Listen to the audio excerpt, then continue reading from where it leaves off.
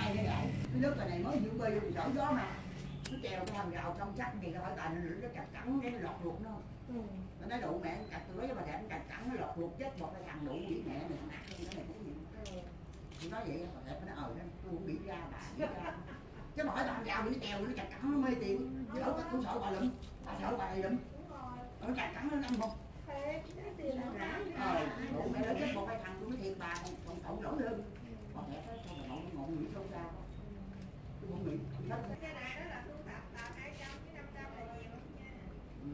chứ có tờ lớn đâu Rồi bởi có tiền ham đều phải là chèo vô là chặt cắn đâu tao thợ là đừng mất đâu chèo cho mạnh đấy Rồi Mắt mà một giờ mười lăm ông bi kẹo.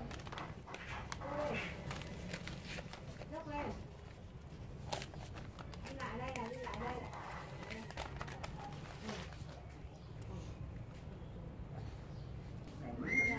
này bà bà mới đừng đừng đừng có đừng có ghét mấy bạn đưa bà cũng đưa đừng mà làm cái cái đội lại cái cúc này khô ra đi rồi có đừng uống lệ đi con uống lệ hết đi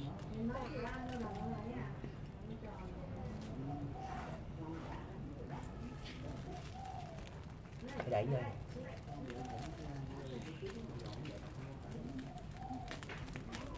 Thank you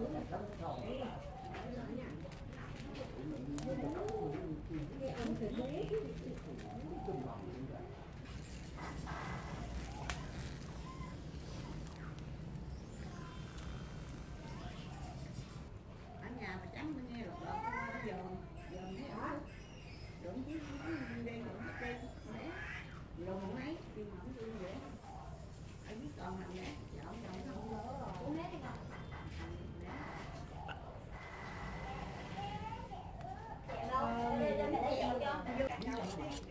Chẳng phải là gì cảnh á Hãy subscribe cho kênh Ghiền Mì Gõ